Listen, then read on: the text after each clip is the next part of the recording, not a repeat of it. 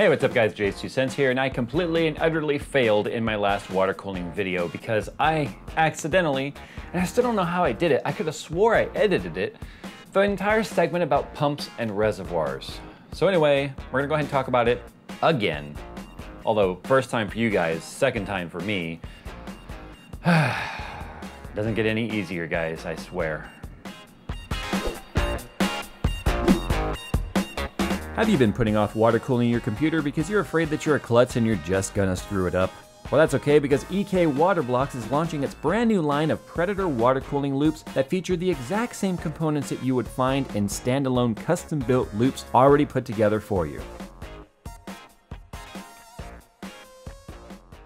Okay, so water pumps for your computer are no different than any other water pump on any system on the face of the planet. It's nothing more than a device to move body a body of water through a system. Doesn't matter if it's a car or an aquarium or a pool, they all work pretty much identical where the impeller is going to move and water is going to flow. That's all there is to it. Now, water cooling pumps over the years have been pretty much nothing more than adapted industrial solutions to work in our PCs.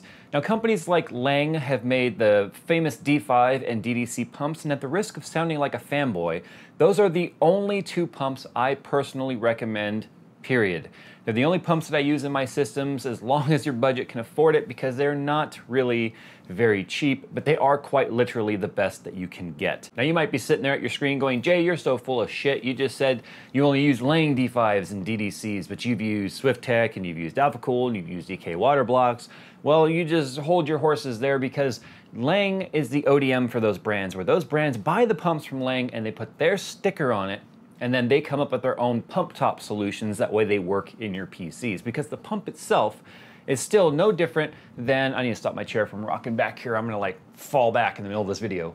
There's still nothing more than industrial pumps that are being used in your PC. So it was these PC manufacturers like XSPC and EK Waterblocks and uh, Swiftech, AlphaCool that have all come up with their own pump tops to make them work in your PCs. Now, a pump top is nothing more than something that attaches to the pump so that you can attach fittings to it and mount the pump. That's all a pump top is. Now usually this is a this is an AlphaCool D5 uh, pump top here with multiple fittings on here for a couple inlets, a couple outlets, depending on depend you know how you're going to mount it in your system.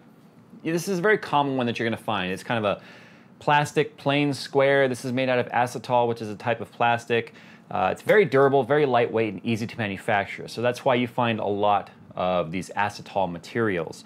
You're going to find other types of materials though, just like how EK Waterblock uh, does use plexi on some of their you know, CPU tops. You're going to find uh, you know, materials like that that are used. Just like on this uh, water block here we've got for this 980 Ti, uh, this is a plexi top. So you will find pump tops in both acetal, POM, and plexi. Now let's go ahead and start with the D5 pump because that's my personal favorite. Uh, the D5 pump moves a lot of fluid, and I mean a lot. And there's two specs when it comes to shopping for a water pump that you need to understand. The first spec being liters per hour. Now that's pretty self-explanatory. It means at full speed, full operating speed for that pump, it can move X amount of liters in one hour time frame. Now more liters per hour sounds like a very good thing, but just like fans, airflow and head pressure in the case of pumps works just like static pressure in the case of fans where having more flow does not equate to better pressure.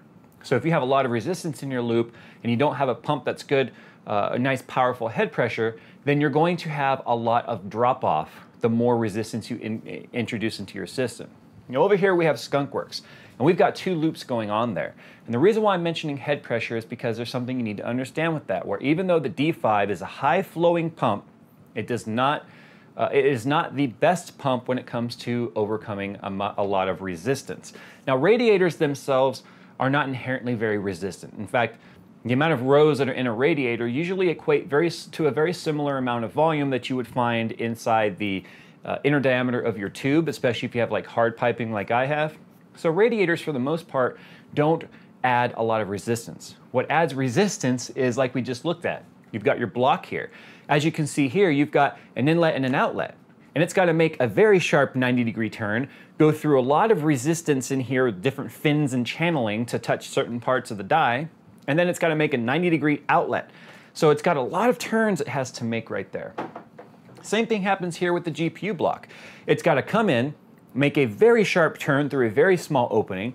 It's got to come here through all these fins inside the die cooler here, you know, the, right on top of the GPU die, and then it's got to make another 90, and then it's got to come here and make another 90 out. Every time your fittings go into a radiator, it makes a 90 into the radiator, another 90 and a 180 at the uh, other side of the radiator, and another sharp 90 coming out. So what adds the resistance is these blocks and these sharp 90 degree bends in the fittings and the different parts that add this resistance. Now, most of the time, fittings are going to be channeled in such a way that they're smooth. Because if they were just like 90 degrees, literally like this, then that adds a ton of resistance for the, for the water flow. Now, as I started to mention a second ago, I have two loops going on inside Skunkworks. I've got a CPU loop, which is one radiator at the top, one CPU block, and then the reservoir and pump combo, and then the hard piping for the CPU block. The CPU loop I can run at the lowest setting and have no difference in temperature whatsoever because there's plenty of water flow. But the other loop, which is an identical pump, identical uh, reservoir mounting unit for it, and identical reservoir, is running two radiators, a 560 millimeter radiator plus a 280 millimeter radiator, plus a lot of 90 degree bends down there underneath here where the side rad is. And then we've got three GPU blocks that are all making very sharp bends. I've actually got to run that pump near full speed and it moves water slower than the CPU pump does at the lowest speed. So as you can see, the D5, although a lot of water flow, uh, does not have uh, the greatest amount of head pressure. I, you guys can correct me, but I do believe it's about 13 feet of head pressure, which means it could move water 13 feet up before gravity overcomes the pump and then the pump can't move the fluid any farther. Now the DDC pump is much smaller. It's much more compact, but it also spins at a lot higher RPM, and because it's a smaller impeller, the higher RPM does not necessarily equate, equate to more liters per hour, but it does equate to very good head pressure. So people have used DDC pumps and even used pump tops that allow you to hook two DDC pumps into a single loop, have overcome systems much more restrictive than mine and have no problems doing it whatsoever. But the downside to a DDC is that they get very, very hot. So that's why you see that this unit I have put together here, which is a reservoir combo with a DDC top from Bitspower and an EK heatsink on here, the heatsink is needed to keep things nice and cool. Because that's one of the major differences between a D5 and a DDC, where a D5 is actually being cooled by the fluid running through it. The heat is transferred to the impeller, and then the coolant that's moving through it takes that heat and travels, uh, you know, takes it away into the radiator. So it's one of the downsides with the D5 is it can add heat into your loop, but as long as you have plenty of cooling, it won't matter. The DDC is going to get very toasty and relies on heatsink and air cooling to keep it nice and cool. Now, pretty much all water blocks on the market today come with uh, things that you would find specific to PC, like PWM or pulse width modulation, where the CPU load is going to control the speed of the pump. RPM sensing wire so that you can hook it up to your CPU fan header and not have to worry about your BIOS thinking there's no fan hooked up and then giving you a warning at startup thinking that there's no fan and that your computer is going to cook itself to death. So you don't have to disable that setting because at the same time, you would want to know if your pump isn't working. And if you hook the RPM wire up to your CPU header and the pump stops spinning for some reason because it goes bad, then the CPU can warn you and you know something went wrong rather than just disabling it and blindly having to wonder why your CPU shut down or your computer shut down because the computer overheated. Now, obviously, both of these pumps have reservoir combo units available on the market. Now, they're not cheap. In fact, the price of the pump with the combo unit and everything can run you over 200, 250 bucks. It's not cheap whatsoever, but it's certainly a nice option if space is, you know, very important. Now, as you can see, Skunkworks has two of them going on in there for the D5. Those are EK options. And then over here, I have a Bitspower option for the DDC, which is running a Bitspower reservoir with the Bitspower reservoir top that mounts onto, this is actually EK heat sink that has the pump in there. So you screw everything together through these bolts on the bottom, and this is what you get, a single unit that you can mount horizontally or vertically into your system. It doesn't take as many fittings and it's, it's much more compact and just looks really, really cool. Now speaking of reservoirs, cylindrical reservoirs are very, very common. They look cool, they're easy to place, you can run them both uh, vertically or horizontally as long as they have multiple fitting options here like you can see from this EK uh, Res X3. Uh, if you can put it on its side, if you have fittings down on the bottom, as long as the fittings are underneath the water level, then you can run it horizontally and do some cool stuff. Uh, but you can, reservoirs are something that we didn't always have back in the past. So that's why in the previous video I called it uh, optional Because what we used to do was cut the tube at the top, put a T-fitting in there, run another piece of tubing off of that, put a brass plug at the end of it, and when we wanted to fill our system or drain our system, we'd remove the plug and use a, uh, like a, um, it's not really a syringe, it's like a fluid syringe where we could stick it in the tube and then slowly pump up our systems using that syringe to fill it uh, full of fluid. It just it took a long time. It didn't have a lot of place for air to go so that you could bleed your system, which is what makes these reservoirs really, really nice because you get tons of fluid in here. It makes filling and priming your system extremely easy because of the fact that when you turn on the pump, it's got a huge supply of fluid to pull into the system and push up into your tubing and into your reservoir or into your radiators and your blocks. And then once it, it empties, you stop it, fill it back up, and do it again. You guys have seen me do that in videos. It makes it a lot easier. The bigger the res, the easier it is. The reservoir has nothing to do with your cooling capacity whatsoever. You could have an entire gallon of fluid and it's not going to run any cooler than if you had no extra fluid than what the capacity of your components can hold because the fluid will just continue to heat up over time until it gets to the maximum operating temperature of your system. So don't think that reservoirs are, and big reservoirs are going to give you any better cooling capacity because it's not. Period. End of discussion. It won't happen.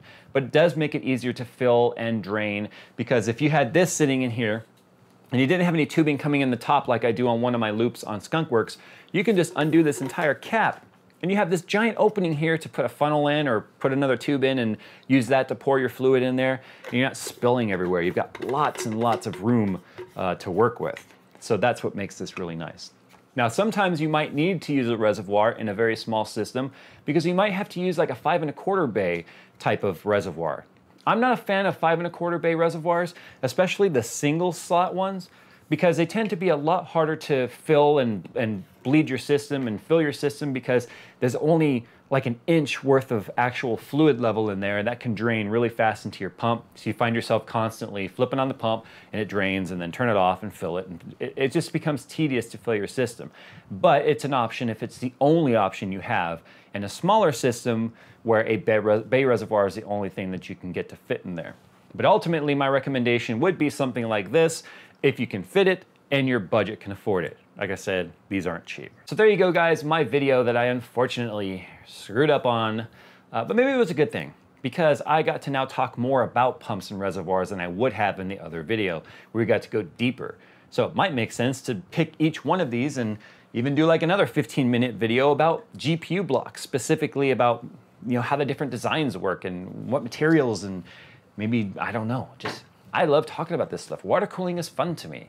And if it's fun to you, then make sure you share this video with someone that you think it will help.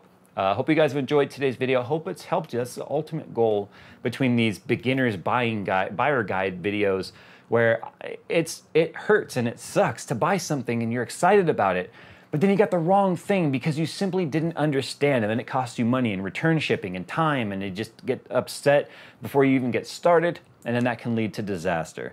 So the whole point of these videos is not about views, it's not about subscribers, it's simply about helping you guys do what it is, or help you get to know what it is you need to know to do it right the first time, because then you can enjoy it.